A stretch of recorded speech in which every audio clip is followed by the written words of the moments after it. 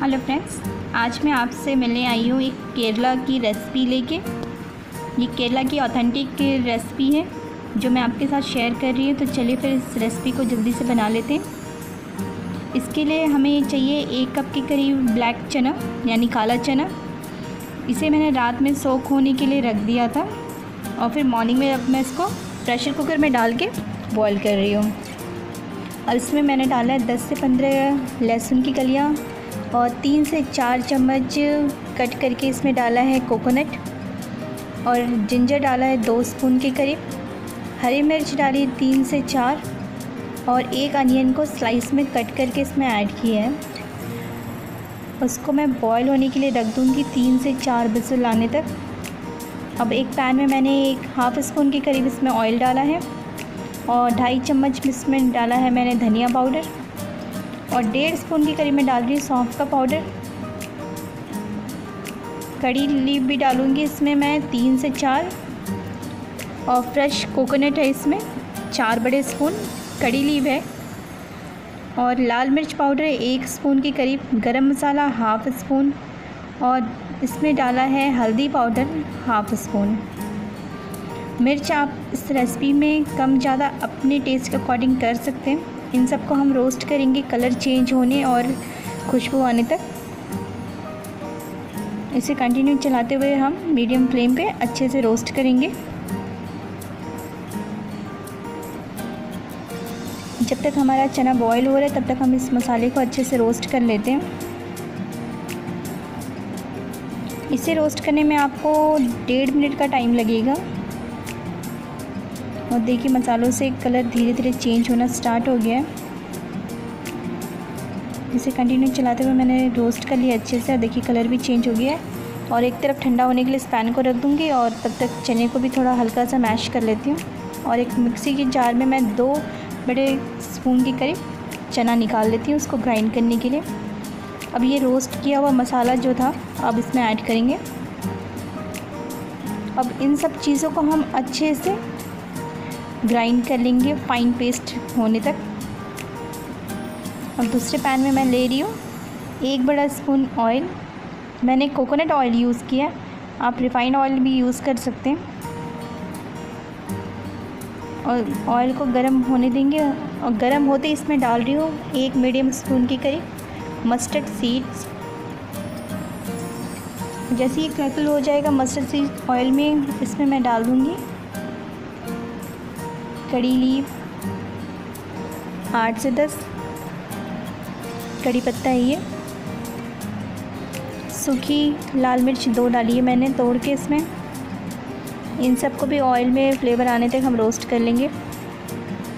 अब ये ग्राइंड किया हुआ मसाला है, वो मैं इसमें ऐड कर रही हूँ। मसाले को कंटिन्यू चलाते हुए हमें इसका पानी पूरा अच्छे से सूखने तक इसे भूनना है। जब तक मसालों से ऑयल रिलीज़ ना हो जाए ये देखिए मसालों से धीरे धीरे ऑयल रिलीज़ होना स्टार्ट हो गया इसे कंटिन्यू लो फ्लेम पे आप वो भूनिएगा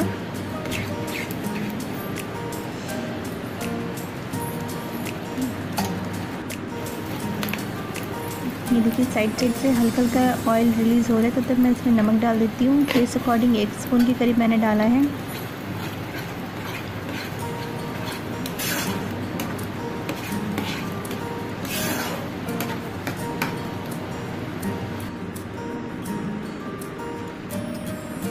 काली मिर्च डाल रही हूँ इसमें हाफ़ स्पून के करीब। इसको भी अच्छे से हम चला लेंगे सब कुछ।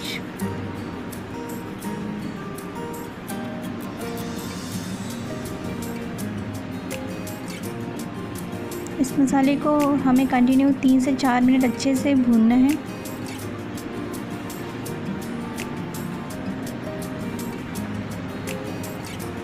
अब भुना हुआ मसाला मैं चने वाले पैन में डाल दूँगी।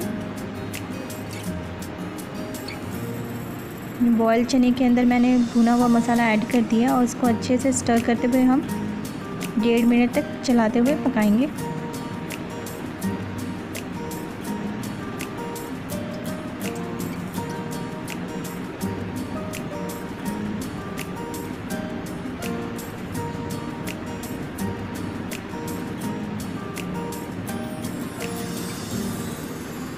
अब उसी पैन में मैंने डेढ़ कप के करीब पानी रख दिया है गर्म होने के लिए। जिस पैन में मैंने मसाला भूना था, अब उसको इसमें ऐड कर रही हूँ। आप अलग से भी गर्म करके ऐड कर सकते हैं। फिर इसको स्टर कर लूँगी मैं।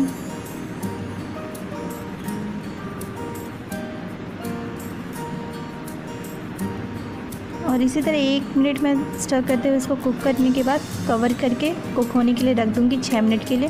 मैं देखिए छः मिनट के बाद मैं आपको दिखा रही हूँ मसालों और ग्रेवी से कैसे ऑयल पूरा अच्छे से रिलीज़ हो चुका है। और हमारी ये केला करी बन के रेडी हो गई है। वैसे कवर करके मैं रख दूँगी दो मिनट के लिए मसाला सेट होने के लिए और फिर इसको मैं सर्व कर लेती हूँ। देखिए मैंने सर्व करके आपको दिखा दिया। है ना, ये इजी रेसिपी और फटाफट बन के रेडी हो जाती है। जो भी टाइम लगता है, बस मसाला भूनने में इसमें लगता है। और ये रेसिपी ऑलमोस्ट पंद्रह मिनट में बन के रेडी हो जाती है।